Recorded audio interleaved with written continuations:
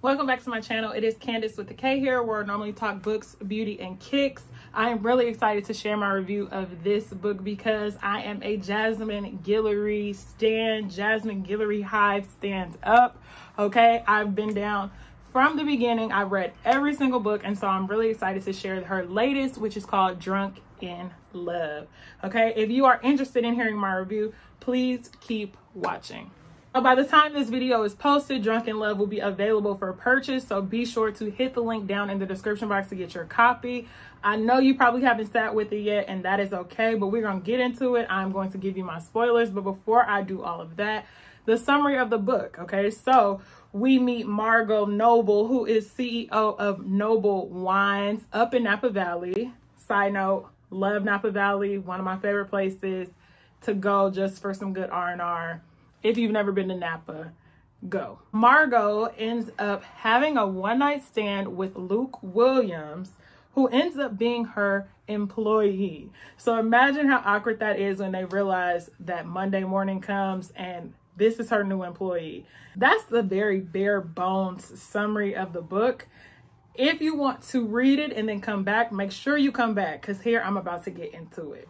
So before I really jump into what I feel about the book, I must tell you that I had an advanced reader copy. So my copy of the book might not be what is published to date. So I can only speak on what I read. The story may or may not have changed. And so I'm just going to give you just a great, you know, like a basic overview of how I felt about the book. Anybody who has read a Jasmine Guillory book knows that it is just rom-com, sappy, corny, fall in love quick, but also kind of spicy. So this is exactly what you get from this book. You've got a very simple storyline where you have the CEO of, of a vineyard or yeah, vineyard.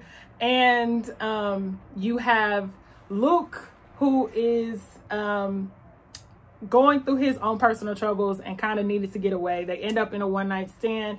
The one night stand sparks this feeling of wanting to be together forever until they realize he's the new hire. So they have to navigate how to move through that because they still want each other but can't mess up the boss employee dynamic.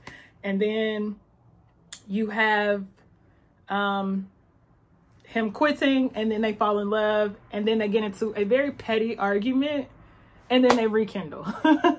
thing about this book is that they try and make the age difference between these two big. Like Luke is 29 and Margot is only 34, but they try and really make it seem like she's a cougar out here. Like when they insinuated that he was younger and she was older, I assumed already that she was going to be like 45 and he was going to be like 25 or some like big gap in that situation, they could have been in college together. So it really wasn't that big of a deal, um, the age gap between them.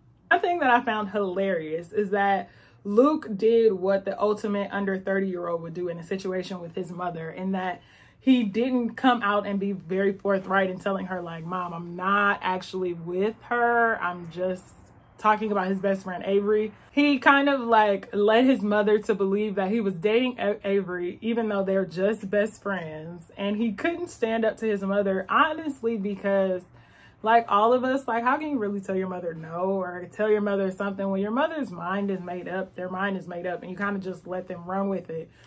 But for it to eventually become an argument between Margot and Luke, I thought was kind of cuckoo in a month span, these two fall in love. But what really crumples their relationship is the relationship he has with Avery because he's think Margot is thinking that the relationship with Avery is much more than what she's let on, particularly after um, Luke's mother kind of insinuated like, "Oh, aren't they so cute?" When uh, um, Margot was having an event at her winery.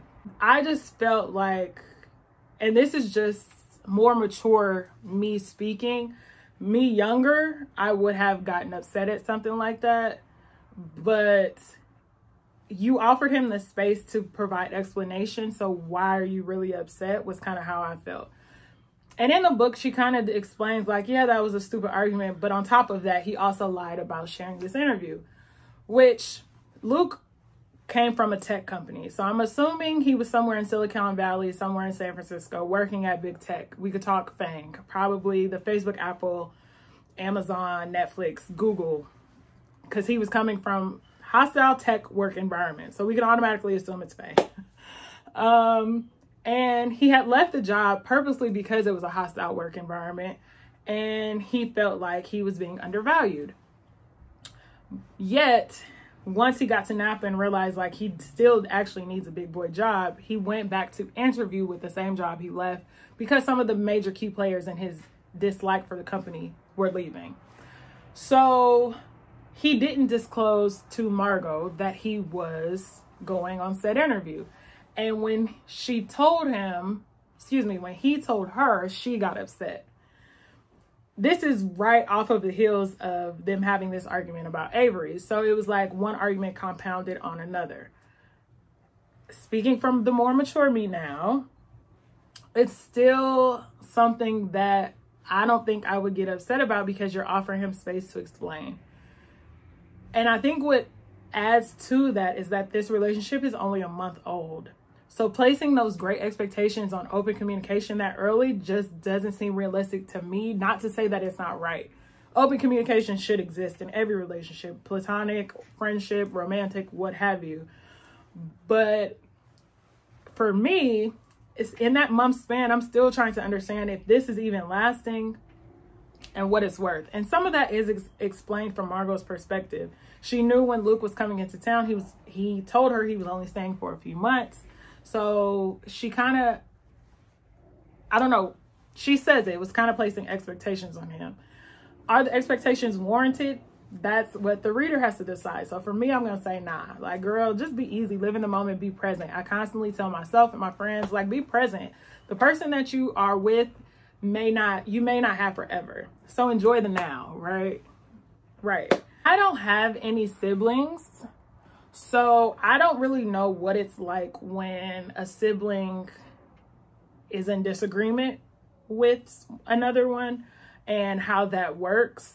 Um, in this situation, we see that like Margot is kind of holding resentment towards her brother because he felt in the passing of their uncle who gave them the, the winery that Margot should not have inherited it.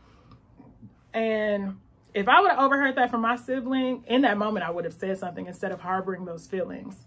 I also understand everyone is not confrontational. Everyone can't really speak up for themselves, and that is fine as well. But in that instance, if I'm hearing my brother talking mess to, about me to another family member, oh, let's let's let's settle up here. Um, but that's just me. I really think this was an easy read. I finished this book in about two days. It was very simple. I'm a Jasmine Guillory stan. Like I said, regardless of the book, I'm going to read it no matter the story, no matter the plot. I don't really highly rank these books because I do consider them as just like they're I don't want to say they're not thought provoking. Every piece of literature is, but they aren't anything that distracts you or makes you feel very heavy. It offers insight into relationship perspectives. And I think Jasmine does a great job in just doing that. So giving me another angle of how to look at an argument, giving me another viewpoint of how to um, see how family members and siblings interact with one another. I am going to tell anybody to read this book because I'm going to support Jasmine forever. Okay? And long as she keeps churning books, I'm going to keep reading them. On and on and on. Because she's got me. You've got me hooked, girl shout out to, uh, you know, getting this advanced reader copy because I enjoyed it. Be sure to like this video, hit that subscribe button. Make sure you follow Kandace with the K Reads. That's where I post all of my readings and my opinions. Tell me what is your favorite Jasmine Guillory book? I can tell you mine. So my favorite was The Proposal. I really enjoyed that one. Um, but I also liked um, I can't think of it right now, but I'm gonna put the cover here because I really like this one too. So see you guys in my next video. Peace.